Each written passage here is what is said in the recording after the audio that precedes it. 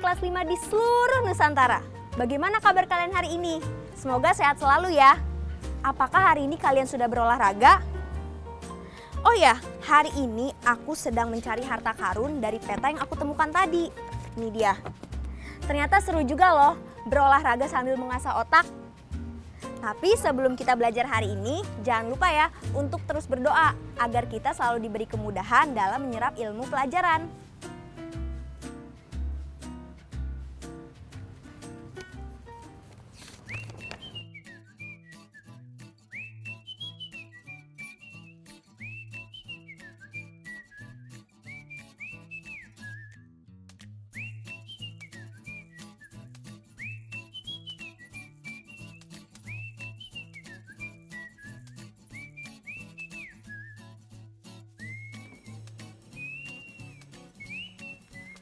Bam, Bapak berangkat ke museum nah. Iya pak, hati-hati Ki.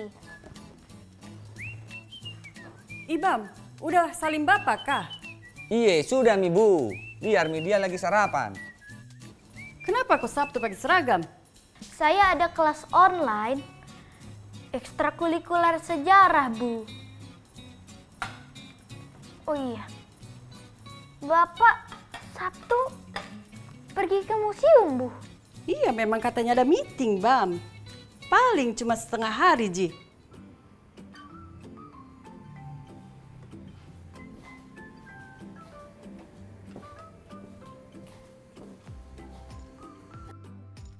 Selamat pagi Bu Alma.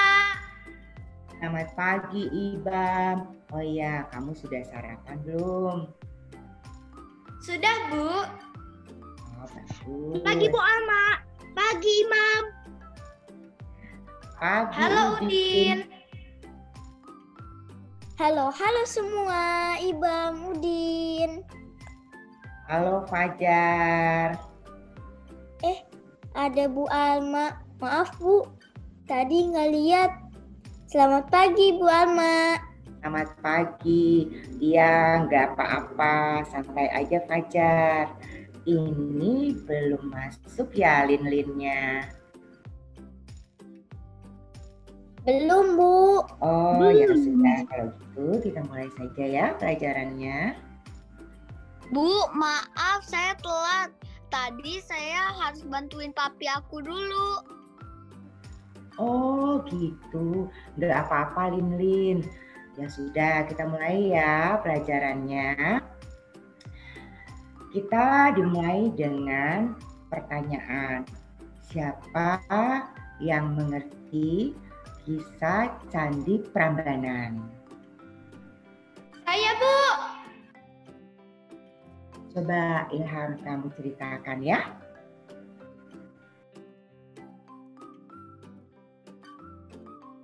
Candi Prambanan terletak di Jawa Tengah, tepatnya di Kabupaten Klaten. Seorang pemuda bernama Bandung Bondowoso jatuh hati kepada seorang putri bernama Roro Jonggrang. ia sangat ingin menikahi Roro Jonggrang. Tetapi Roro Jonggrang tak mau dengan Bandung Bondowoso karena Bandung Bondowoso telah jahat kepada ayah.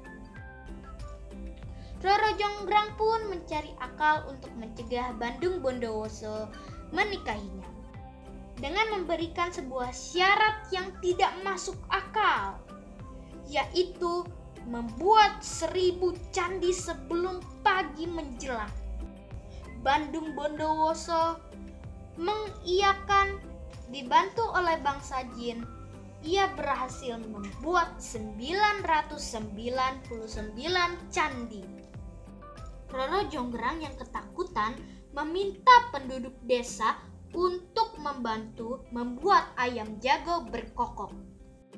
Untuk menandakan fajar telah tiba dengan cara menumbuk padi. Benar saja, ayam jago pun berkokok lebih awal. Bandung Bondowoso gagal membuat candi ke seribu. Ia marah besar ketika ia mengetahui kalau Roro Jonggrang yang membuat ayam jago berkokok lebih awal. Ia mengutuk Roro Jonggrang menjadi candi ke seribu. Nah, itulah cerita Candi Prambanan. Wah, keren! Bagus sekali Ibam kamu menceritakannya. Oh ya, ada pertanyaan lagi. Siapa yang mengenal sejarah Monumen Nasional Indonesia? Saya, Saya Nah, coba Lin Lin, kamu ceritakan. Iya, Bu. Monumen Nasional atau biasa disingkat Monas dirancang oleh Frederick Silaban dan Sudarsono.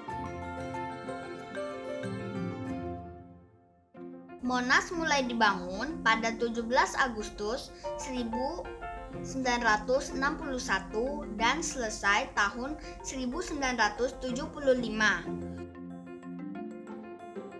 Di puncak Monas dibuat patung menyerupai kobaran api yang terbuat dari 38 kg emas, melambangkan semangat bangsa Indonesia. Emas itu disumbangkan oleh Teuku Markam, seorang saudagar kaya dari Aceh. Presiden Soekarno menginginkan ada bangunan seperti Menara Eiffel di Indonesia. Sayang, Insinyur Soekarno tidak sempat melihat Monas selesai. Oh iya, Bu.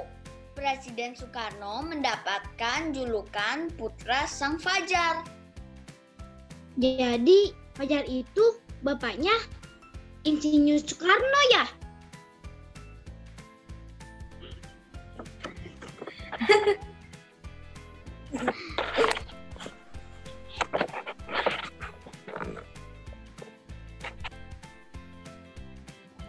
Yang sangat bagus sekali loh Lin ceritanya. Kalau sejarah kota Makassar, ada yang tahu nggak? Ayo,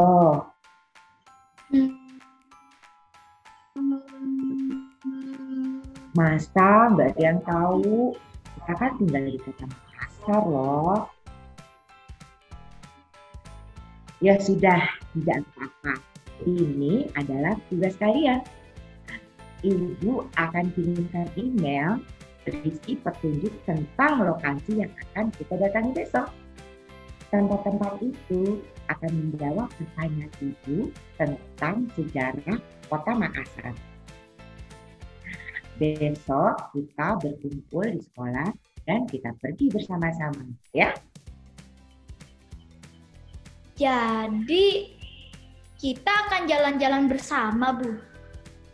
Iya, tapi ingat, kalian harus selalu memakai masker dan jaga kesehatan.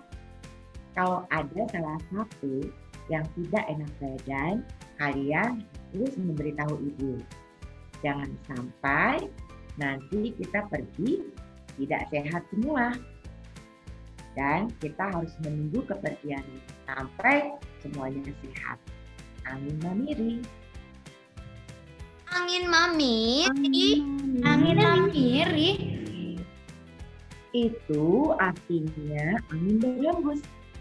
Seperti semangat kalian untuk mengenal sejarah bangsa yang terus berembus. Oh. Oh. Kalau begitu, Zoom meeting hari ini cukup sekian dulu. Besok kita sambung lagi. Sampai jumpa besok, Bu. Sampai jumpa besok. Dah. Bye.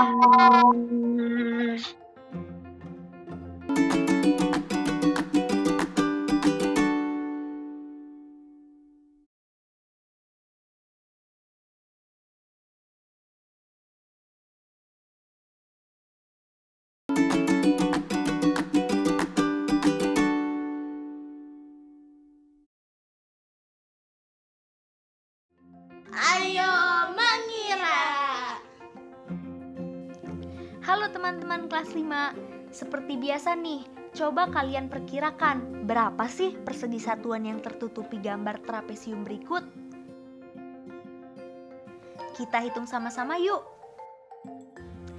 Coba bayangkan ada garis bantuan merah yang memotong segitiga dan memindahkannya ke ujung lainnya. Kalian lihat, ternyata membentuk sebuah persegi panjang.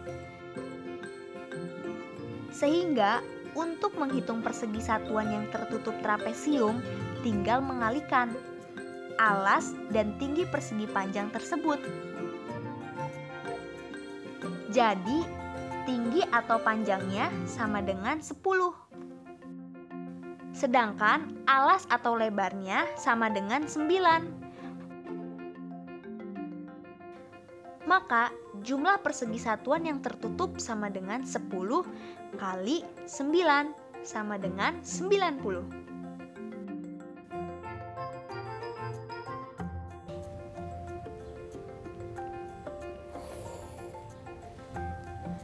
Esa, Ya. hmm, enaknya kita mulai dari mana dulu ya untuk membuat dana sekolah? Tadi aku baca-baca lagi, menurut aku kita mulai dari arah mata angin dulu deh. Oh iya, Din, kamu masih ingat caranya nggak? Masih, masih.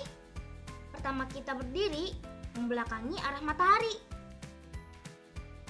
Kalau kita berdiri di tengah lapangan sebelum jam 12 siang, maka arah bayangan menunjukkan arah barat. Iya, benar tuh Din. Maka utara ada di sebelah kanan kita. Setelah itu, kita bisa tentuin sebuah tempat di lapangan sebagai titik acuan. Misalnya, yang bendera. Coba sekarang kita tentukan letaknya di kertas. Seperti ini. Nah, habis itu kita tinggal ukur aja jarak dari titik acuan ke bangunan-bangunan yang ada di sekolah. Misalnya kantor kepala sekolah ada di utara tiang bendera dengan jarak 10 meter. Gitu, Nes. Eh, tapi gimana ya? Kita gambarnya di kertas Oh, kita tentuin dulu aja skalanya, Din. Berarti skala denah yang kita buat 10 cm banding 10 meter. Kalau kita ubah jarak sebenarnya ke cm, maka hasilnya 10 cm banding 1000 cm atau 1 cm banding 100 cm sama dengan 1 banding 100. Betul, Din. Kalau gitu, kita langsung buat dana sekolahnya ya. Abis itu, kita buat peta pulau untuk kita tinggal. Setuju! Nah teman-teman, setelah tadi kita melihat Ricky dan Nesha membuat denah sekolah mereka, sekarang giliran kalian yang membuat denah rumah kalian masing-masing, seperti yang akan dilakukan Fanya. Yuk bersama Fanya kita siapkan alat-alatnya dulu ya. Ada kertas, pena, meteran, dan benang. Setelah alat-alatnya sudah kalian bawa, sekarang saatnya menentukan arah mata angin. Yang pertama, pastikan ada cahaya matahari. Kedua, catat waktu kamu melakukan pengamatan. Yang ketiga, berdirilah di halaman rumahmu yang terkena cahaya matahari.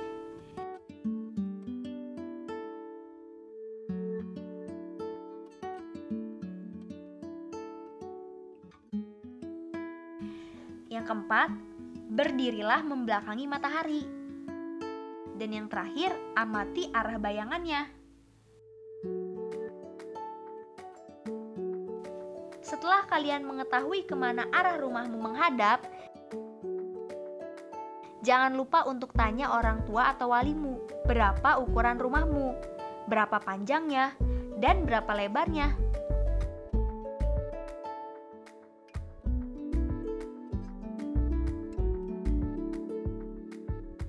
Setelah itu kalian bisa menentukan akan memakai skala 1 dibanding berapa untuk menggambar denah rumahmu.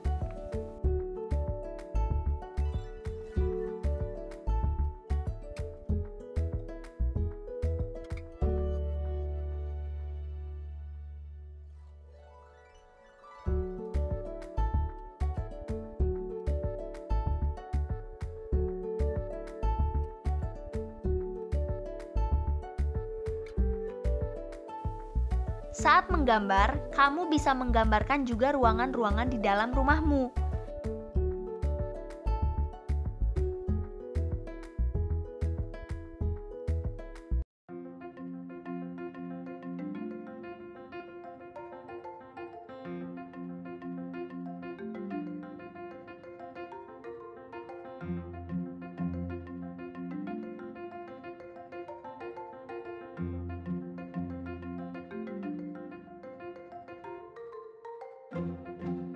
Kalau denahmu terasa belum mirip atau sama dengan bentuk rumahmu yang sebenarnya, coba periksa di mana letak kesalahannya dan mintalah bantuan orang tua atau walimu. Selamat berkreasi!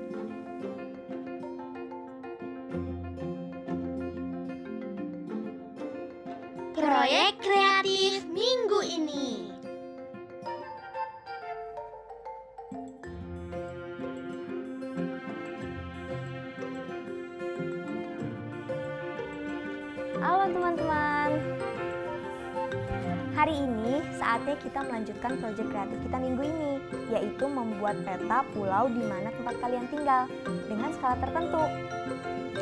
Nah, kalau misalkan nanti peta kalian sudah selesai, kalian bisa menuliskan laporannya ya, seperti yang Nesya lakukan ini.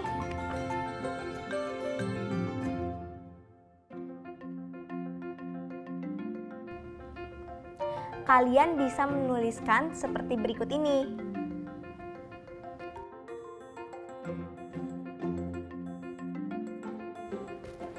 Sana juga kalian bisa menuliskan apakah proyek ini berjalan sesuai dengan rencana ataupun tidak.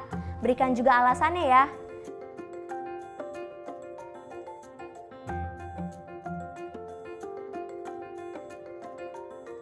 Dan tulis seperti berikut ini.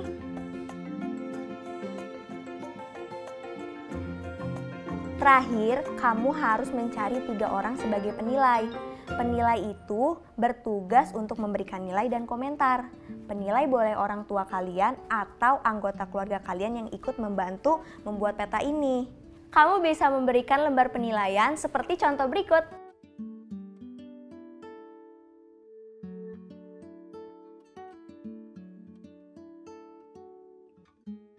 Selamat berkreasi!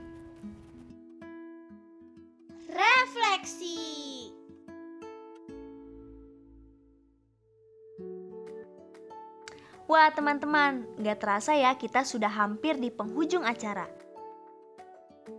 Seperti biasa, yuk kita uji kemampuan menangkap materi hari ini dengan menjawab pertanyaan yang ada.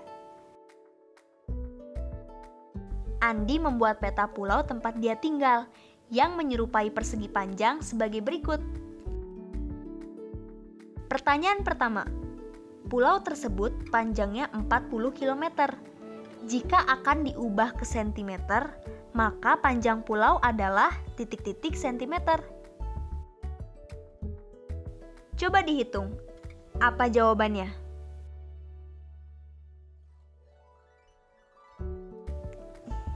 Yap, jawabannya adalah D, 40 km.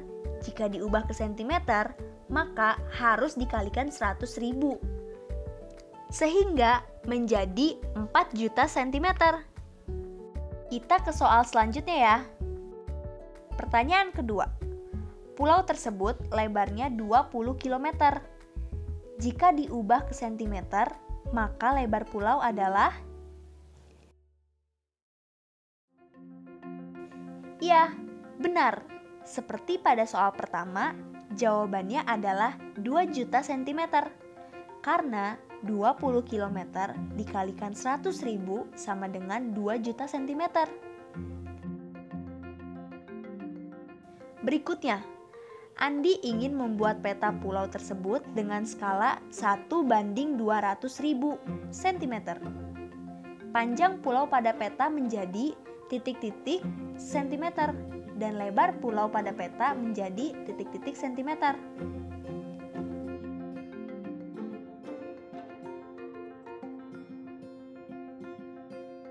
Jawabannya adalah sama dengan panjang pulau sebenarnya dibagi skala. Sama dengan 4 juta dibagi 200 ribu. Sama dengan 20 cm. Dan lebar peta sama dengan lebar pulau sebenarnya dibagi skala. Sama dengan 2 juta dibagi 200 ribu sama dengan 10 cm.